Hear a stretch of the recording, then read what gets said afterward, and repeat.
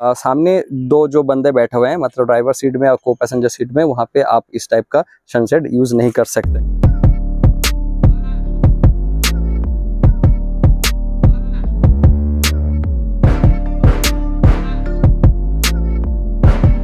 Hello दोस्तों welcome to Awesome Tech Rider और आज मैं रिव्यू करने वाला हूँ टाटा नेक्सॉन का सनसेट के ऊपर में।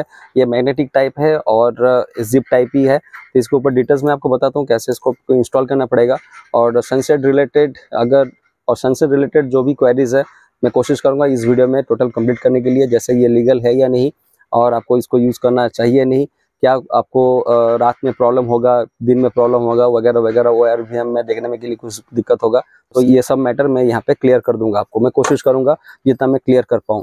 तो ये मैंने परचेस किया अमेजोन से और इसका यहाँ पे जो ब्रांड लिखा गया है कोच डी को यहाँ पे लिखा गया है और इसका price I think six double nine में पड़ा था। तो यहाँ पे देखिए इसको मैं यहाँ पे इंस्टॉल कर रहा हूँ ये मैग्नेटिक टाइप है। तो आ, इसको इंस्टॉल करने के लिए पहले मैं बैक साइड में करता हूँ। बैक साइड में कोई भी आ, जिप आपको नहीं मिलता। जिप सिप आपको फ्रंट साइड में आपको मिलता है, ठीक है? तो वो भी मैं आपको दिखा देता हूँ जिप कैसा यहाँ पर लगता है। तो ये है जिप टाइप का, ठीक है? ये फ्रंट के लिए है। तो अगर मैं इसको ओपन करता हूँ तो ये इतना पार्ट आपको ओपनिंग आपको यहाँ पे देखने को मिलता है।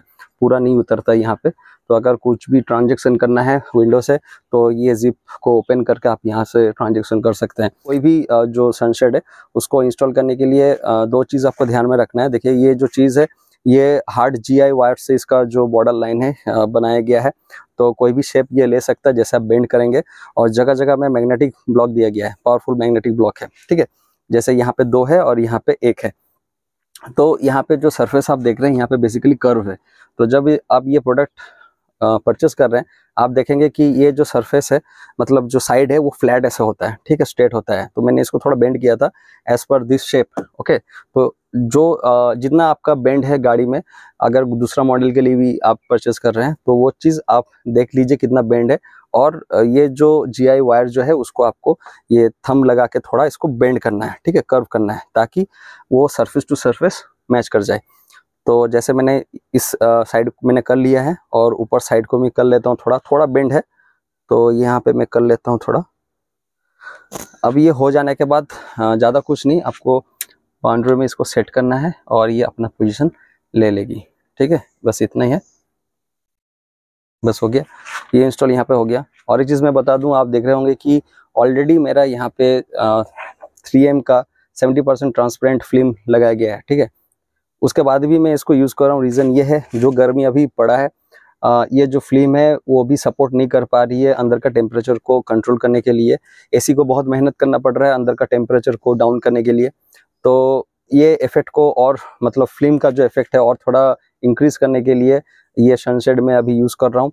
और एक मेरा जो प्रायोरिटी है वो ये है कि जब मैं ड्राइव करता हूँ कुछ कुछ कंडीशन में मैं एसी को ऑन नहीं करता हूँ, लेकिन खिड़की भी मुझे खुला चाहिए, ठीक है? और बाहर का जो सनलाइट है, उसको भी मुझे रोकना है। तो उस केस में अगर मैं शीशा में उठा देता हूँ एसी ऑन नहीं करता हूँ तो अंदर में टोटली ओवन बन जाएगा ऑब्वियसली तो एयर फ्लो को कंटिन्यू रखने के लिए मैं इसको यूज़ करने वाला हूँ। बस इसको मैं इंस्टॉल कर दूँगा और कांच को मैं डाउन कर दूँगा, ताकि ये एज ए फ़िल्टर जैसे काम करे और अंदर में एक हवा का सर्कुलेशन भी बना रहे। तो मुझे ऐसे भी यूज़ नहीं करना पड़ेगा और मेरा पर्पज़ भी फुलफिल हो जाएगा। जो शीशा है उसको मैं डाउन करके भी आपको दिखा देता हूँ। ओके तो ट्रांसपेरेंसी आपको समझ में आ रहा होगा यहाँ पे। तो दोस्तों देखने में कोई दिक्कत नहीं होता है। अगर आपको कुछ डाउट है कि ओ आर वी एम दिखेगा नहीं बारिश के टाइम में प्रॉब्लम होगा तो ऐसा बिल्कुल भी नहीं है। मेरे दोस्त के पास भी ऐसा सनसेड है। आ, मैंने उसके साथ ड्राइव पे गया है रेनी टाइम में और रात के टाइम में भी ऐसा कोई भी प्रॉब्लम नहीं होता। यहाँ से आप क्लियरली देख पाएँगे, अपने ओ को जज कर पाएँगे, कोई प्रॉब्लम नहीं है। लेकिन इस टाइप का अगर फ़िल्म के ऊपर अगर लगाते हैं तो आई थिंक विजिबिलिटी में थोड़ा प्रॉब्लम हो सकता है। इसको सामने इंस्टॉल करने वाला हूँ तो वही सेम केस है कि आपको मैग्नेटिक जो ब्लॉक है, उसको पहले अलाइन करना है और जो वायर जो है, उसको आपको एज पर सरफेस थोड़ा बेंड कर लेना है, ठीक है? तो देख लीजिएगा, ये जिप आपके साइड में रहेगा मतलब अंदर के साइड में फेस करके रहेगा और ये कुछ इस तरह से लग जाएगा। अगर आपको जिप को ओपन करना है तो इतना जिप ओपन होगा और इतना आप एक्सेस कर पाएँगे। तो अभी मैं गाड़ी के अंदर में हूँ और जो मेरा 3M का फ्लेम है, वो भी मतलब कांच भी चढ़ा हुआ है और ये जो सनसेट है, वो भी लगा हुआ है। तो कांच को मैं डाउन करता हूँ यहाँ पे। ओके तो कुछ इस तरह से लगेगा दिखने में और अगर कुछ आपको ट्रांजेक्शन करना है तो मतलब किसी को पैसा वैसा देना है पेट्रोल पंप पे तो इतना आप एक्सेस करके आप पैसा या कोई भी ट्रांजेक्शन आप यहाँ पे कर सकते हैं। कुछ लेना देना है तो यहाँ से कर सकते हैं। तो वो फैसिलिटी जो सामने दो जो बैठे हुए हैं उनके लिए लेकिन बैक साइड में वो जिप टाइप का आपको नहीं मिलता ओके तो अंदर से भी, भी आपको दिखा देता हूँ कि कैसा लगता है। क्योंकि अंदर से व्यू में ले रहा हूँ कांच अभी डाउन है ठीक है? और इस टाइप का व्यू मिलता है तो आप देख सकते हैं जो ओआरवीएम है वो क्लियरली विजिबल है कोई प्रॉब्लम नहीं है। ड्राइवर एंड से भी और को पैसेंजर उसके साइड से भी कोई विजिबिलिटी में कोई दिक्कत नहीं है। इसको मैं ओपन करता हूँ यहाँ से। यहाँ पे ओपन हो गया और ये एक्सेस पॉइंट हो गया। इसको फिर से लगा देता हूँ और अगर मैं कांच को ऊपर करता हूँ देख लेते हैं दिख, दिखने में दिन में मुझे नहीं लगता है कि दिखने में कुछ प्रॉब्लम होगा कि लेकिन आ, लग रहा है कि रात को में भी प्रॉब्लम हो सकता है। अगर इस टाइप का फ़िल्म लगा हुआ है आपके ग्लास में ओके तो इसको डाउन करके अगर मैं गाड़ी चलाता हूँ तो यहाँ से हवा भी पास होगा और ज़्यादा वो हवा का जो हिट है, वो डायरेक्ट फेस पे भी नहीं लगेगा, लेकिन हवा का सर्कुलेशन भी चलता रहेगा। तो फ्रेंड्स ये चारों विंडो में अच्छे से इंस्टॉल हो चुका है, देखना भी काफ़ी अच्छा लग रहा है। अपने विंडो में थ्री एम का या कोई भी फ़िल्म अगर नहीं लगाना चाहते हैं तो इस टाइप का ऑप्शन शेड आप यूज़ कर सकते हैं और ट्राई ले सकते हैं। तो लास्ट क्वेरी जो है कि ये रोड पे लीगल माना जाता है नहीं तो ये बहुत मिक्स टाइप का मुझे रिव्यू मिला है, मैंने भी बहुत सर्च किया। और कुछ कुछ दोस्तों से भी मैंने इसका फीडबैक लिया है।